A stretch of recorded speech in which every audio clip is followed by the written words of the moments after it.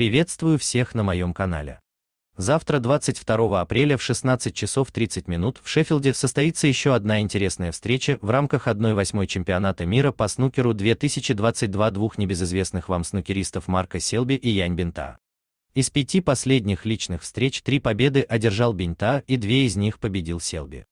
В 1-16 финала этого чемпионата Марк Селби одержал победу над Джейми Джонсом со счетом 10-7. Но не стоит забывать, это игрок мирового уровня.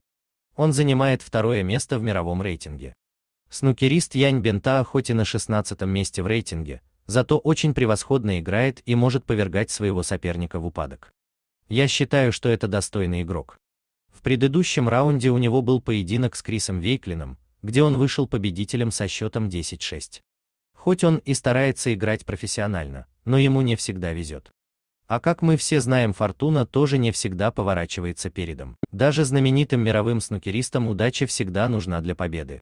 Прогнозисты прогнозируют неуверенную победу Марку Селби. Он последнее время допускает много ошибок. А Беньта может ошибки эти учесть и нанести свой козырный удар. Что в итоге очень скажется на исход игры. Поэтому уверенности в этом матче о победителе нет. Можно сказать 50 на 50.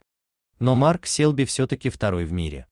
Наверное, будет очень завораживающий и результативный поединок. Ждем-с. Увидеть поединки можно на платформах букмекерских компаний Винлайн и 1xСтавка, а также на других букмекерских сайтах. Всего хорошего. До новых встреч.